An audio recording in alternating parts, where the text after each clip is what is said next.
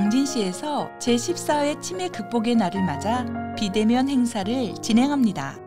행사는 세 가지 행사로 진행되고 당진시 치매 안심센터에서 자세한 사항을 확인할 수 있는데요. 치매 예방에 대한 중요성과 치매 인식을 개선할 수 있는 이번 행사에 많은 관심 바랍니다. 기지시 줄다리기에서 별밤 축제 송악 공연을 개최합니다. 공연은 총 4번으로 차량에서 공연을 관람할 수 있게 driving theater로 진행되는데요. 가을의 시작을 알리는 9월에 다양한 전통 공연을 비대면으로 만나보시기 바랍니다. 당진시 보건소에서 심뇌혈관 예방관리 주간 red circle 캠페인을 진행합니다. 심뇌혈관 질환이란 고혈압과 당뇨병, 심근경색 같은 질병을 말하는데요.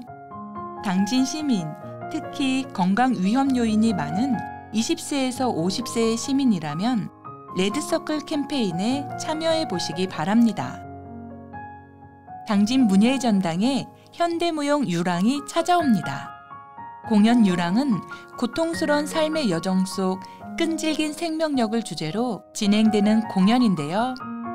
한국 대표의 현대무용단과 함께 문화 치유를 받아보시기 바랍니다. 당진 시립도서관에서 독서의 달 9월을 맞아 도서관 행사를 개최합니다.